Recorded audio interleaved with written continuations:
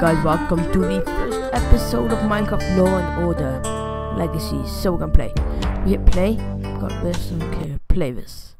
Let's play. In the criminal justice system, the people are represented by two separate yet equally important groups the police who investigate crime and the district attorneys who prosecute the offenders. These are their stories. So? Um. So here's first.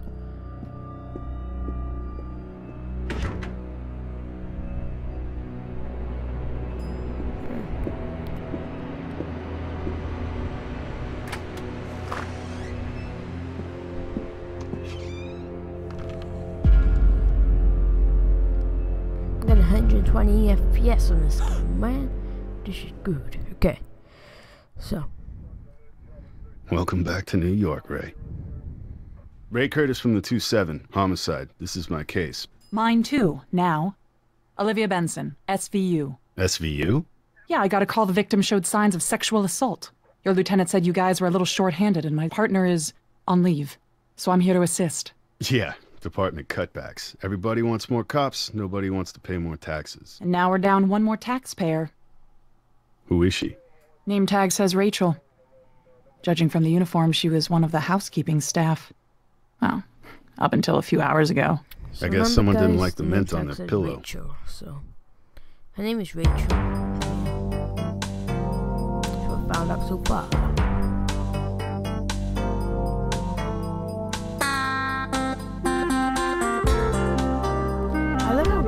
Graphics are in this game. It's a good game, I gotta say. I played it like once. I failed at it though. The graphics are actually uh, pretty, pretty bad. But now I'm getting 120 FPS, so uh, it's actually okay. It's good. Okay, here we go. Hola, soy Detectivo Ray Curtis. Soy Teresa Restrepo. Restrepo.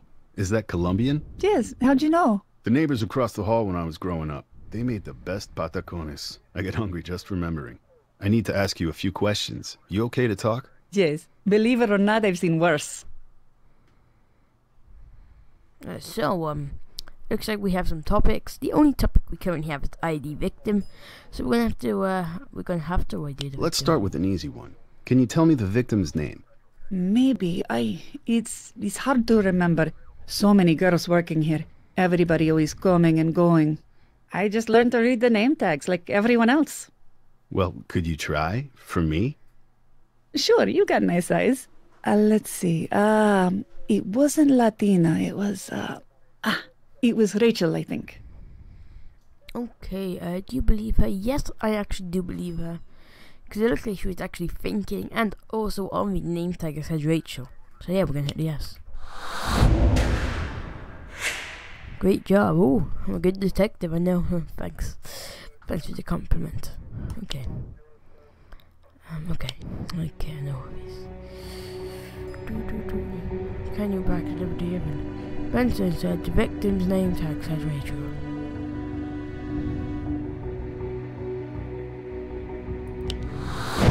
No!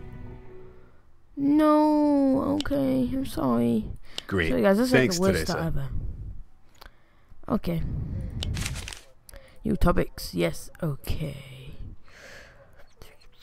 What did I start? I think I just See anyone suspicious people. hanging around lately? Yeah, the hotel is full of them. Lots of old businessmen always staring at you. Ugh.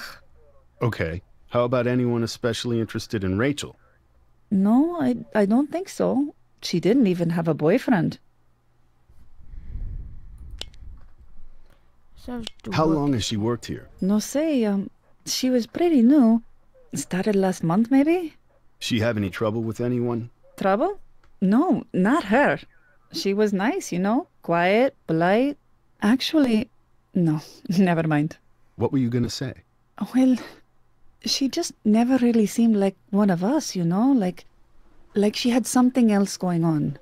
Always watching everything and, oh, and tapping on her phone. Era una adicción. phone? You say she liked to use her phone. For what? You think she was earning a little extra money? What, like John's?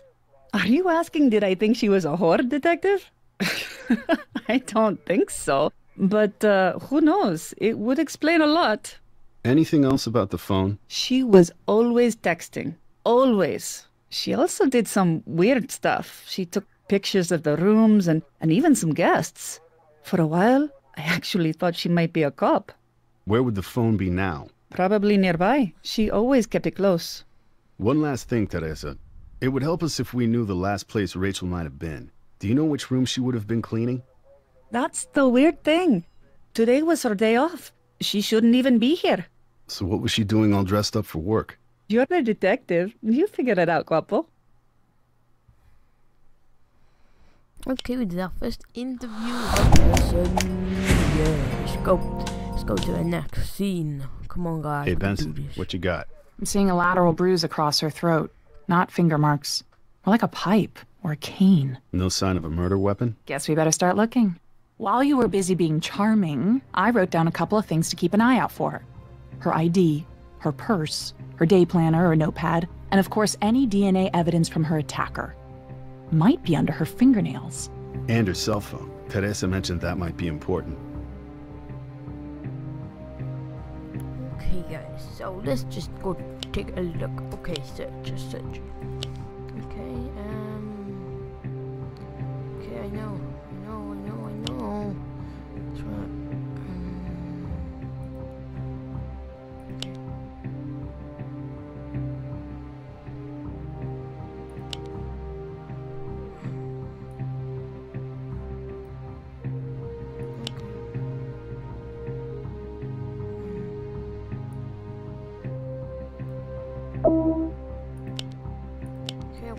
okay. We gotta collect that phone. Okay, good. it. We got our cell phone. Okay, so we found the victim's cell phone. Uh, we have some ID. Rachel Trevino, 27 years old, lives at 600 East 5th Street. Over in the East Village, if I remember right. Okay. Next off, we gotta do the hands up. Broken fingernail. She scratched him up pretty bad, I bet. Some kind of debris under there. Better get a swab for DNA. Okay, there we go. And then if we go all the way down to here, then yeah, I like this here. This could be Rachel's Yes. purse. It's not Coach, but not cheap either. Someone was taking care of her bills. Then we gotta look at the notepad as well, because that's. Yeah, come on, Notebook. go. Just a couple of notes. Wider media. What the hell does that mean? There we go. Okay, so that's what this one we just totally did. So, yes. She's got a couple of voicemails. Let me see. Yep, sounds like she was meeting somebody here. Okay, this is evidence. Let's get back to the precinct and give it to CSU. Why not just listen to him now? I better follow procedure on this one. Such a Boy Scout. Hey, if we solve this case, I finally get my murder merit badge. Come on, I'll drive.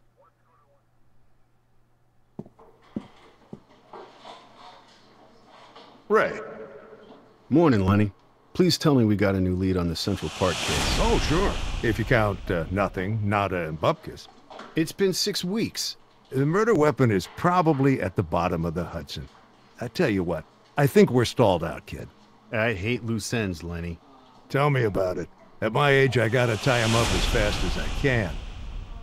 Ray Curtis, as I live and breathe, back in my precinct after all these years. What happened? Finally sick of all that California sunshine? My girls got worried if I wasn't solving murders, I might start committing them.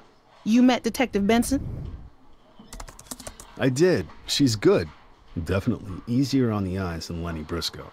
Yeah, but she's made of steel. Don't cross her, Ray. Wouldn't dream of it. Welcome back. Thanks. Hey, I was gonna take this down to CSU. What the hell? What's wrong? The voicemails, they're all gone. Someone deleted them all. And odds are it wasn't our victim. Looks like her carrier is Mercury Wireless.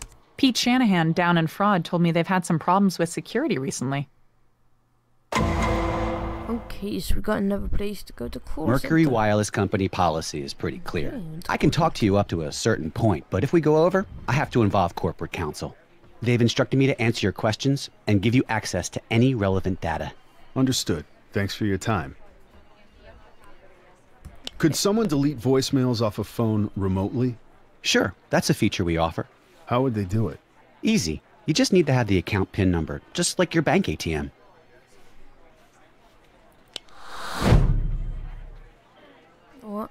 Oh, d- you telling the truth? I, I, I don't oh, give believe me you. the question. Why would I lie about something like that?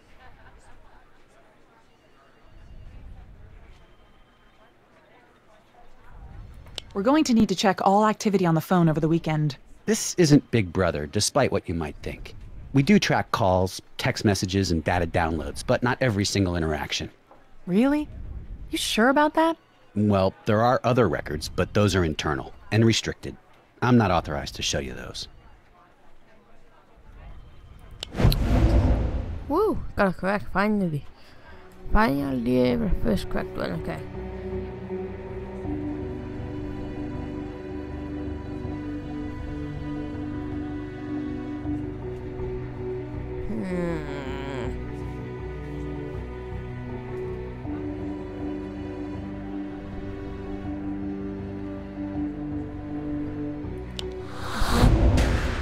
Yes! Yeah, I did it! Woo!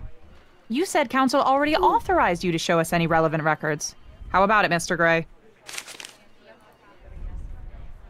Let's have a look at those restricted records, Mr. Gray. We prefer not to share those personal customer records. It can project a negative corporate image. It would be a complete invasion of our customers' privacy. You guys need a warrant.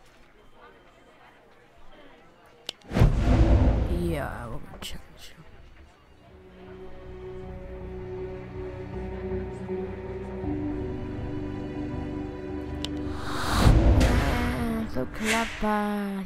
How about we go get that warrant? Then we can search your restricted records and it all goes public at trial. How do you think your customers will like finding out you kept secret information about them? Oh my god. Uh, all right. All right. I'll look it up. Who had access to Rachel Trevino's voicemails? Um, according to our account record, only Miss Trevino. There's no one else listed here. The only other persons with authorized access are myself, our customer representative team, and a few independent technical contractors.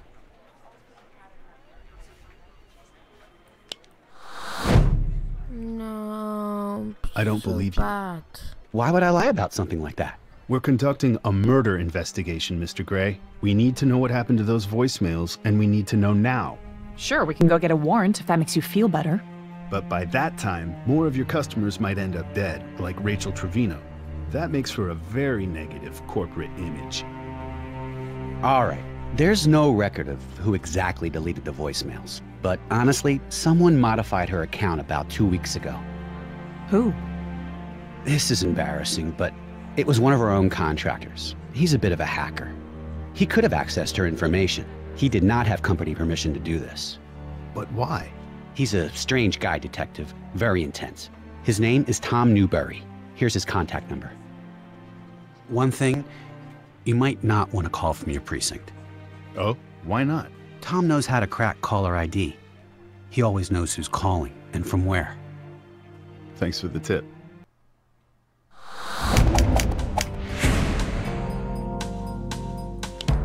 Okay, guys. Um.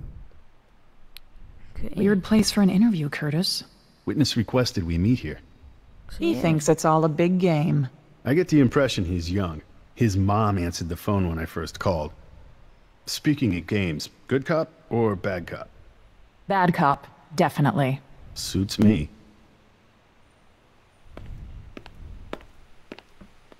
Call me Anonymous.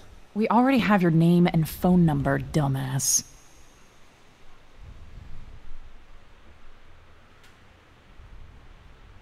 We talked to some people at Mercury Telstar. You have a reputation there. People said you're good. Too good, maybe. We thought you might have done something illegal, but they said their security is way too tough for you to crack. Please, I wrote their security. The firewalls, the protocol encryption, it's all me, detective. So, you could crack a voicemail account?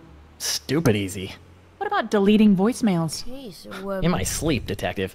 And what did Mercury tell Star? So, guys, I just want to say I will see you guys next time in the next episode of Peace Out.